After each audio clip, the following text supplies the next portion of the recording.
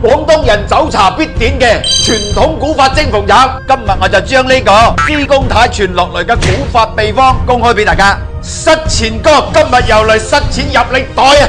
五斤珠江水加入廿五克麦芽糖。五十克白醋，水滚之后倒入两斤鸡脚，帮佢热一热身就马上捞起，停干水之后放入两百度油温里面，炸到佢表皮金黄，再马上倒入冻水里面，热胀冷缩，虎皮节奏就出嚟啦。猪肝水放入香料姜葱，倒入鸡脚，烧滚之后关火浸佢四十分钟，将浸好个鸡脚啤水开边，嗱重点嚟啦！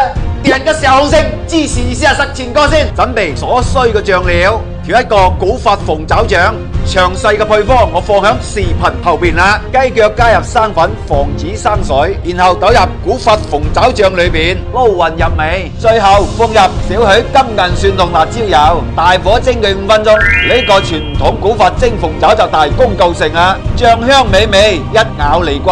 嗯，正。